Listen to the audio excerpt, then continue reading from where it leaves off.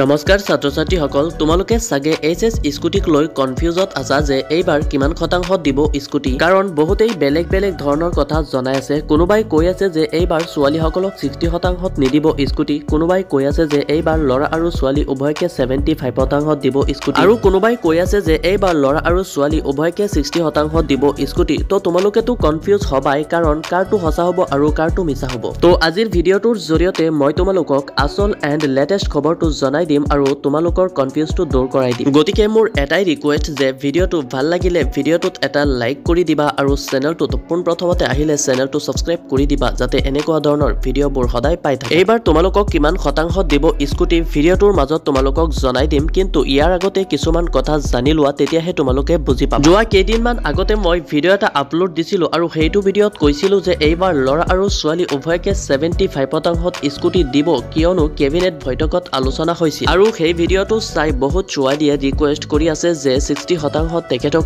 Scooty দিব লাগে। Actually মই ডিৰেক্টলি কোৱা নাছিলোঁ যে এইবাৰৰ পৰা সকলোকে ছেভেণ্টি ফাইভ শতাংশত স্কুটি দিব। জাষ্ট কৈছিলোঁ যে কেবিনেটত আলোচনা হৈছে। তো যি কি নহওক ইয়াত তোমালোকে চাব পাৰিছা যে girls students with sixty percent marks and boys with seventy five percent marks to get scooters in Assam ইয়াত কৈছে যে অসমৰ ছোৱালীসকলক ছিক্সটি শতাংশত স্কুটি দিব আৰু ল'ৰাসকলক ছেভেণ্টি ফাইভ শতাংশত স্কুটি দিব। তোমালোকে জানা যে আগৰ পৰাই ছোৱালীসকলক ছিক্সটি শতাংশত স্কুটি দিয়া আহিছে আৰু ল'ৰাসকলক ছেভেণ্টি ফাইভ শতাংশত স্কুটি দিয়া আহিছে। এইটো কেৱল অসমৰ বাবে। বেলেগ ৰাজ্যত ছোৱালীসকলক ছেভেণ্টি ফাইভ শতাংশত স্কুটি দিব পাৰে বাট আমাৰ অসমত এতিয়ালৈকে এই নিয়মটো প্ৰযোজ্য হোৱা নাই। আগলৈ নিয়মটো কি হয় নাজানো বাট বৰ্তমান আগৰ নিয়মটোৱে আছে এণ্ড বৰ্তমান আগৰ নিয়মতে ল'ৰা আৰু ছোৱালীসকলক স্কুটি দিয়া হ'ব। অৰ্থাৎ এইবাৰো ছোৱালীসকলক ছিক্সটি শতাংশ আৰু ল'ৰাসকলক ছেভেণ্টি ফাইভ শতাংশত স্কুটি দিব। জাষ্ট এইটোৱে নহয় আৰু এটা প্ৰুফ চাই লোৱা। ইয়াত তোমালোকে এটা কুৱেশ্যন চাব পাৰিছা যে how much percentage is required to scooty in Assam two thousand twenty four. অৰ্থাৎ দুহেজাৰ চৌব্বিছত স্কুটি পাবলৈ হ'লে অসমত কিমান শতাংশৰ প্ৰয়োজন হ'ব